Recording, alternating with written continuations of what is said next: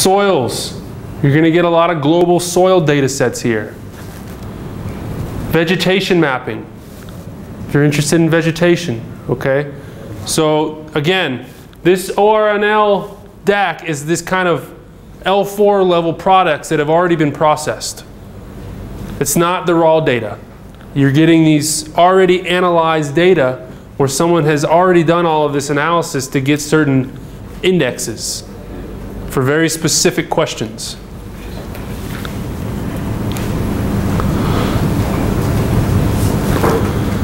Next, the Socioeconomic Data and Application Center. Again, this was one of my favorites. I use this a lot for my dissertation.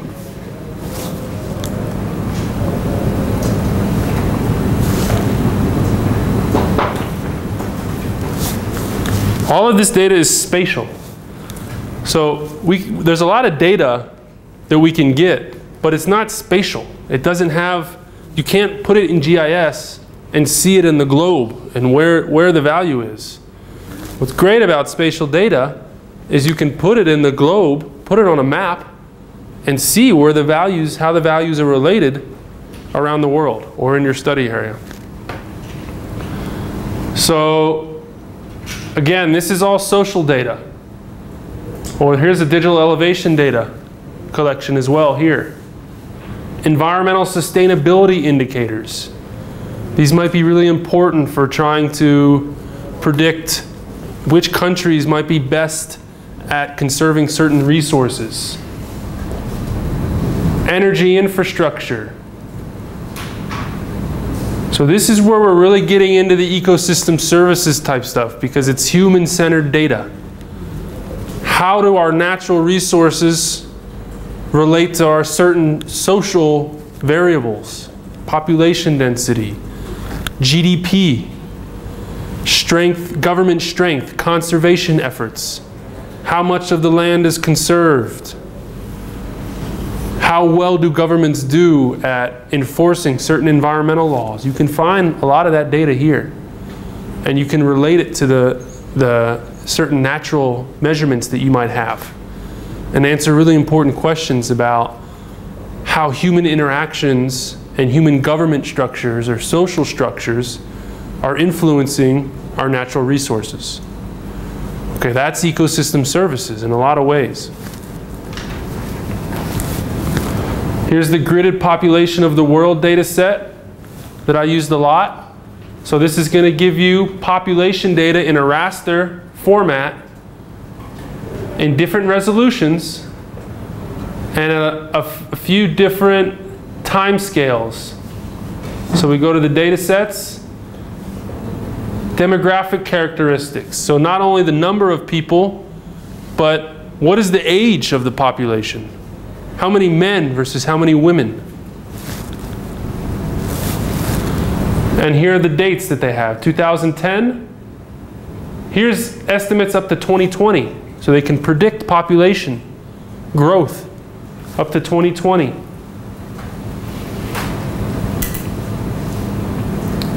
So there's a lot of cool data here. And I, uh, rec I recommend you explore these sites and look for certain data sets that you might need. Ben. Yes, question, I'm coming. Yeah, I find these sources very interesting and my question was, uh, of course you mentioned the question of accuracy and my question is how do they calibrate this data? How are they validated, at least for the ones you have used, for SEDAC and others? Uh, you, you might know. Yeah, very good question. So the question is about accuracy and calibration. How do they calibrate these data? And the answer is each one is different.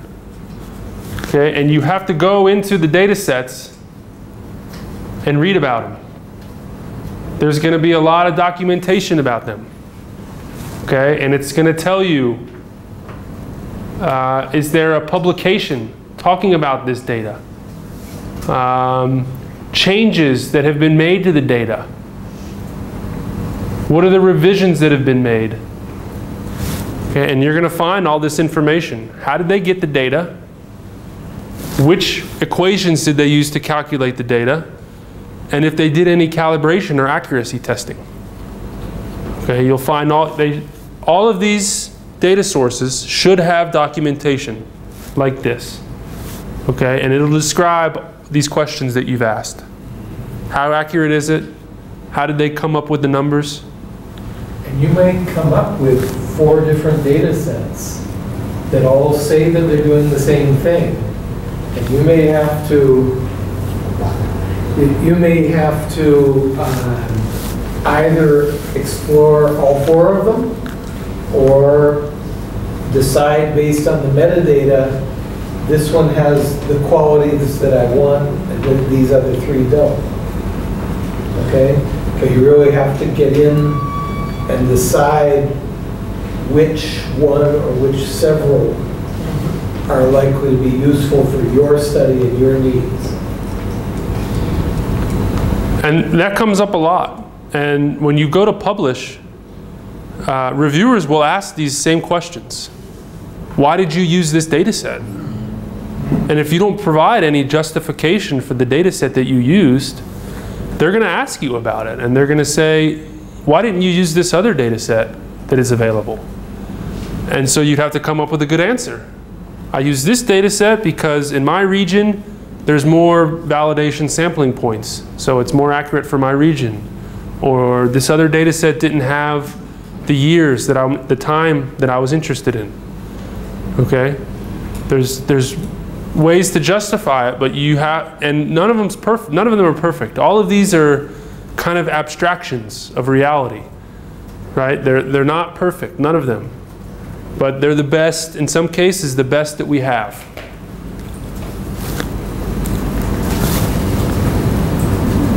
But that was a very good question. We always have to be thinking about accuracy and calibration and whether or not this data is really the best for me and my question.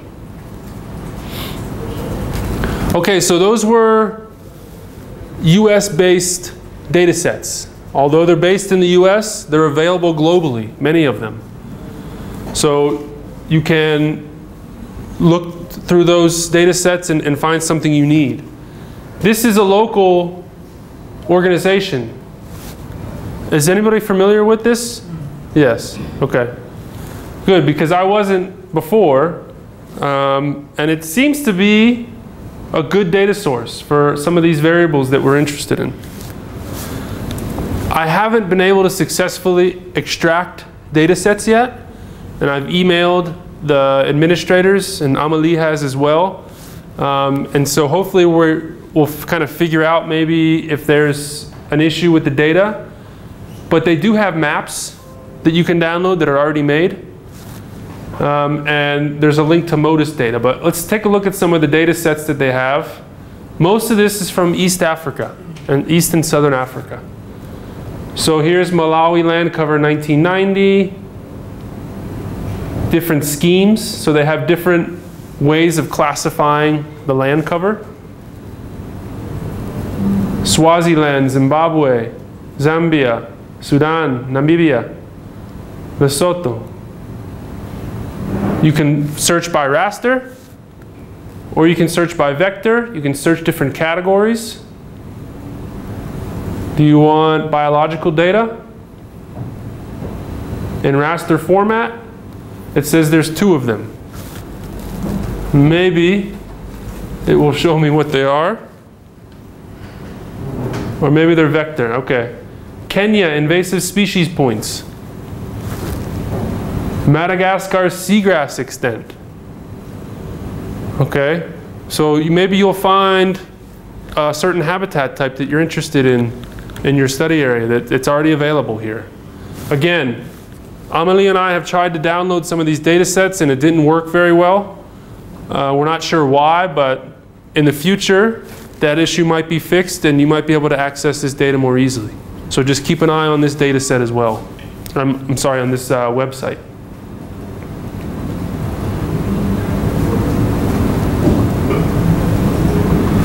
So they have lots of different data sets. They have already done maps for most of the data. So a map is data that doesn't have any geography locators on it. Doesn't have metadata. It's a nice organized paper that has the map and it has the legend and it's basically used for displaying data in like a, a PDF or in a document. Okay, that's the difference between a map and the actual data set. And worst case, you can georeference the map and you digitize it yourself. Yes, so Amelie said in the worst case, you can take a map, download it, and georeference it. We haven't talked about that, but there is a way in QGIS to take a data set that doesn't have any geo geography information. So you find it in a book. You find a map in a book. You take a picture of it. You can load it into QGIS, and they have an application where you can say, this point is here, this point is here, this point is here, and it gives geography information for the whole data set. And it lines it up where it needs to be. So if you can't find the digital data, and you do find data in a publication or in a book, there is a way to get that into QGIS and have it aligned where it needs to be. Just so you know, we don't have time to cover that, but just so you know that is a possibility. This is uh, another US-based website, but as you can see, it, it covers the world, and it's specifically related to drought monitoring. So if you're interested in different vegetation indices, uh, it has a lot of precipitation indices, evapotranspiration indices, drought tolerance, and you can select, as you can see, by the region that you're interested in. And it'll give you these different data sets. This, I'm not sure if we can read these. Rainfall accumulation. Here's MODIS, vegetation indices. So you see a lot of the same data coming up in different places, right? Especially things like MODIS, land cover, and the vegetation indices. Uh, monthly soil moisture. So if you're interested in drought monitoring, anything to do with vegetation uh, drought indices, this is a good place to find that. Choose your time. Here they have a strange time metric, the decad. So it's every 10 days. So the first decad is January 1 to 10. The second decad is January 10 to 20. I don't know why they do that, but you can you can figure it out based on uh, you know the calendar.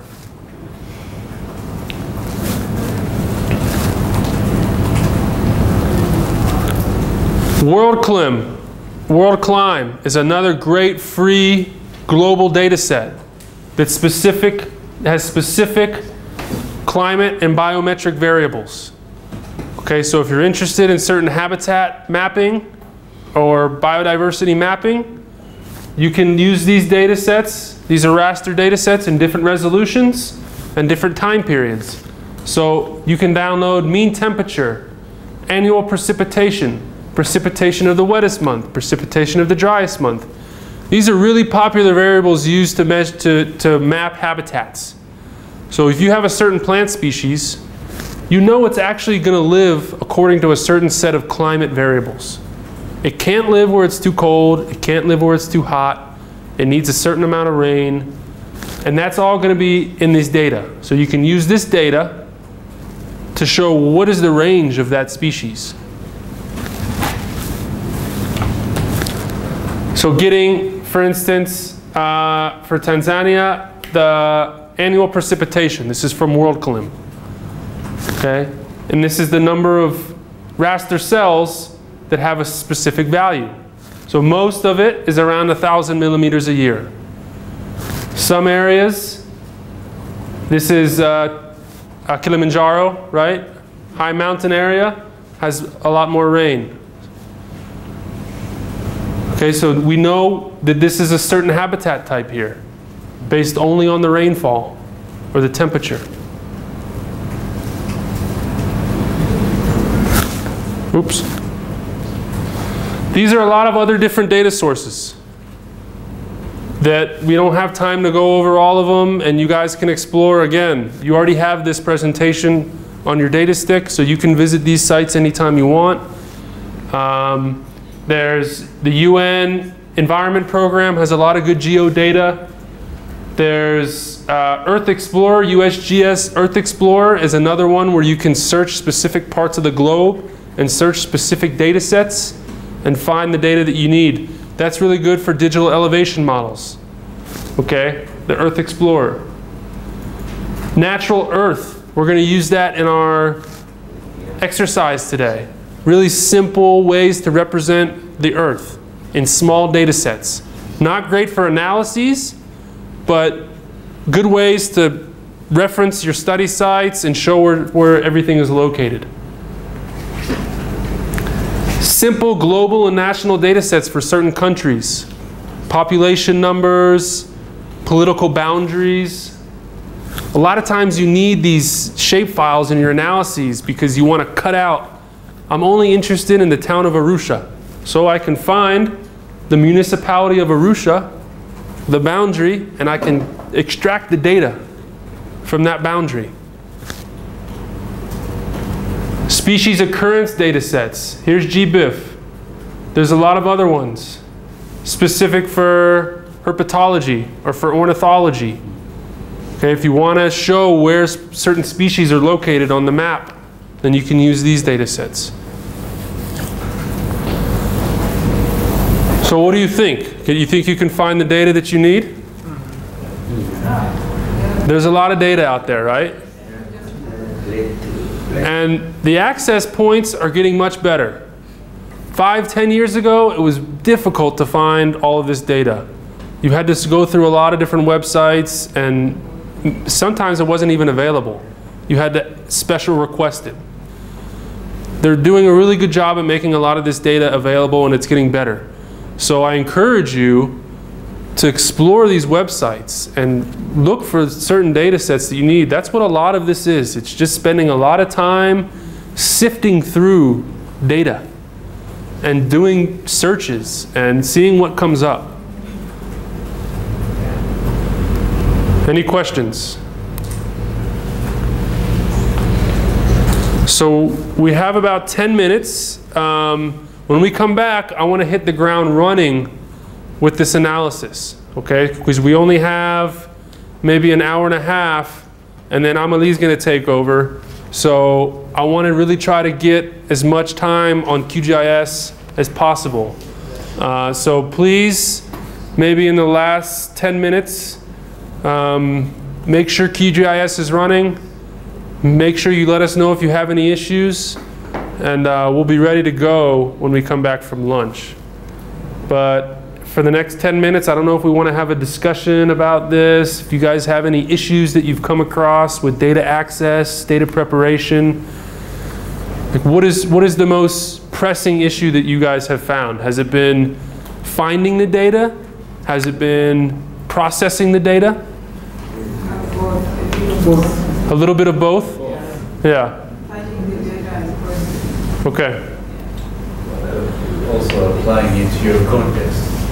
Right. I need a particular shape file, and I need to locate my species here and there.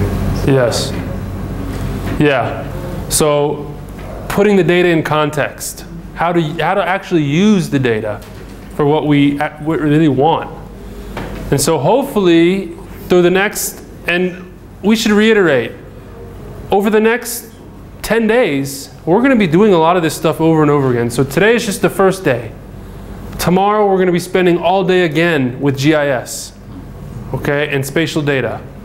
Right? So we're going to be getting more and more comfortable with it. And we're going to be learning all the different ways that we can use the data and manipulate the data for what we need. Today, it might take some time to get you know, an initial level of confidence that you feel comfortable kind of navigating QGIS. But with time, we're going to practice we're going to learn what's possible. And you're going to see the world is going to open up. You're going to see what's possible. And you're going to realize that the analysis that you want to do is definitely possible. And you can do it with the data that you have and the skills that you have. Okay, a lot of times it's just a matter of simply learning those initial steps, getting comfortable with the program, and spending time figuring out how everything works. So we're going to try to do that as much as we can over the next 10 days.